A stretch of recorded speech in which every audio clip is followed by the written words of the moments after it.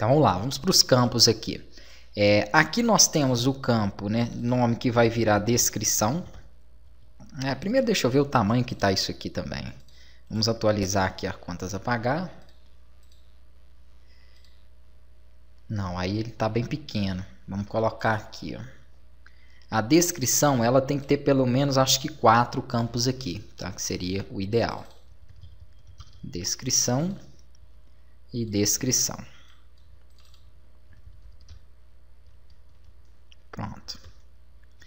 Aqui, depois da descrição, nós vamos trabalhar com o fornecedor. Então, ele vai ter que fazer a seleção do fornecedor, caso, obviamente, exista um fornecedor. Então, pode ser quatro também.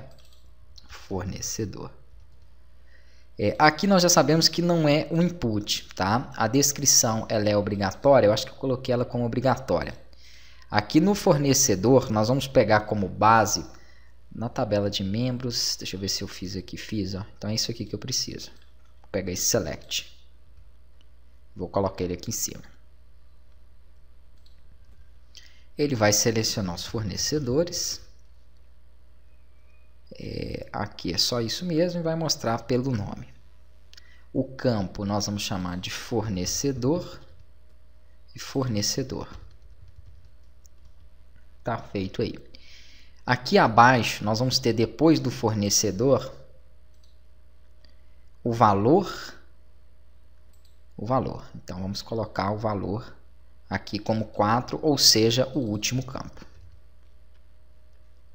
E aqui vem o valor. Aqui é text e aqui é valor. Pronto. Placeholder do primeiro, insira a descrição. Então tá certo. Não tem esse quarto que é data de nascimento, né? Essa data, na verdade, ela vai ser vencimento. Então ela entra aqui na próxima linha e vai ser vencimento. Aí eu já troco aqui para vencimento. E aqui para vencimento. E tudo bem, ele pode pegar aqui a data de hoje, tá? Vamos colocar aqui, ó, data atual.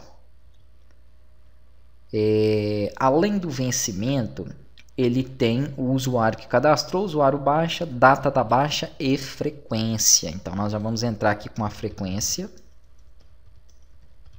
Frequência essa frequência não vai ser um input, tá? Essa frequência agora vai ser aplicada através de um select.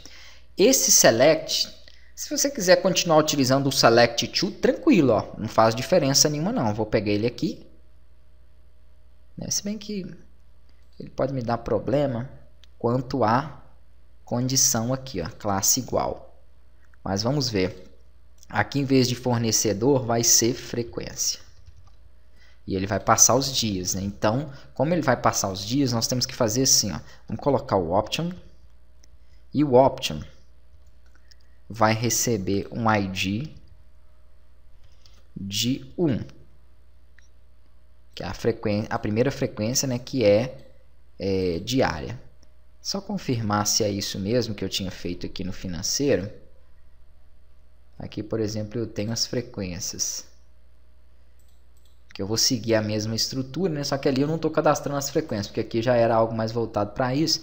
Não, uma vez é zero, é verdade, porque ele não vai ter nenhum dia. Então essa primeira frequência aqui, ela é uma vez.